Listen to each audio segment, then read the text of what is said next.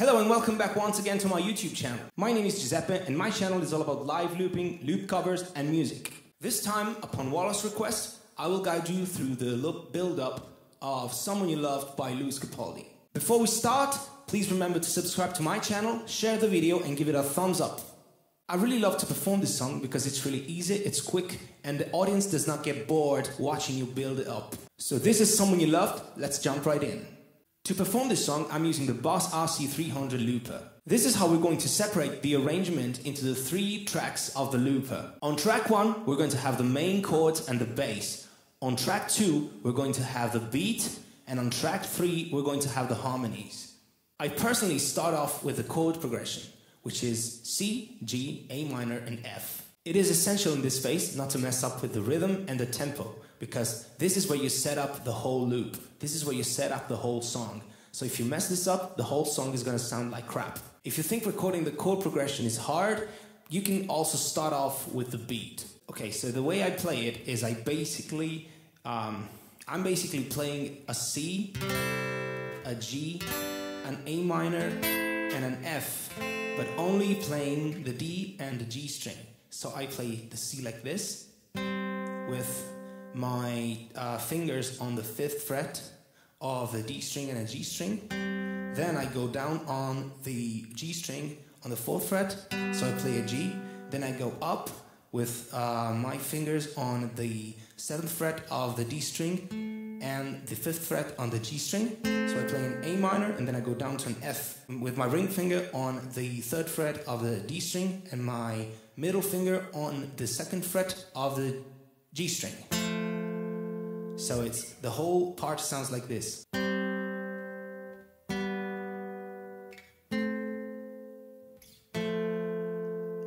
There is really no problem in playing it with the whole chord. So it's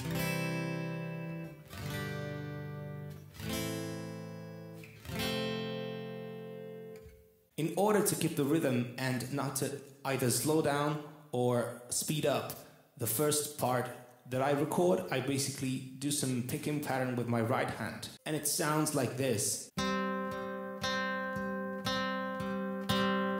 It doesn't matter what pattern you use, just make sure you, you can have a rhythm, you can, you can keep it for as long as two measures with your right hand.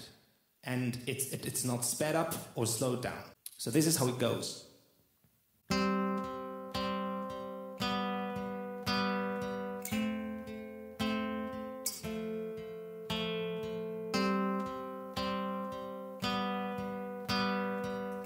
Right here we have the first part, we have the we set it up and now we keep adding up and building up the layers.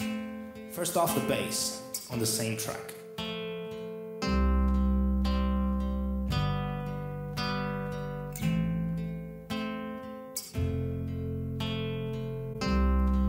Now we move on to the third track where we're going to record the harmonies.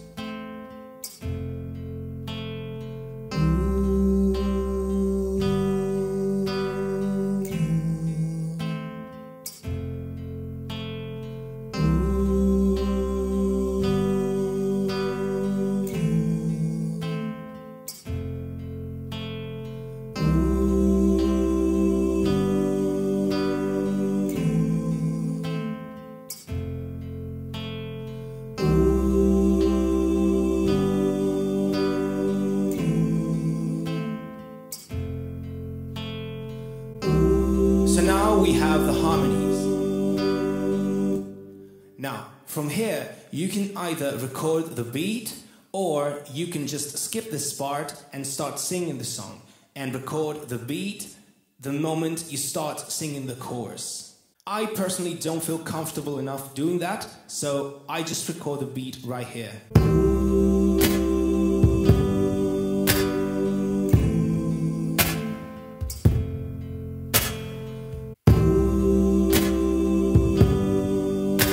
Here you have to stop two tracks at once, or like not really as once, but like really quick, in order to start singing the first part, like the first verse, on just the chord progression. I'm going under, and this time I fear there's no one to save me. I guess I kinda like the way you now, this is where you start the beat. And now the day bleeds into nightfall, and you're not here. So I normally stop the beat after the first chorus and start it again uh, when I start to sing the second verse. I'm going under, and this time I feel there's nowhere to turn to. Before you start the second chorus, make sure you stop all the tracks and start them all at once. So you're here. You help me escape, the day bleeds into nightfall, So this is just enough to perform the whole song. Upon this bass, you can record anything you want, but make sure it sounds good to you. There is one part of the song where you only have to play the beat with the looper and just play along a new chord progression which is different from the one from the whole song, which is D minor, A minor, G, A minor. And the second time is D minor, A minor, and G for two measures. So we are here. From here, you have to stop two tracks simultaneously before playing the chord, so you only are left with the beat. And I tend to close my eyes, but it hurts sometimes. This is it for today. I hope you enjoyed my tutorial. If you like this video, don't forget to share it and hit the like button. Let me know in the comments what other song loop you would like me to teach you. Thanks for watching. I'll see you next time.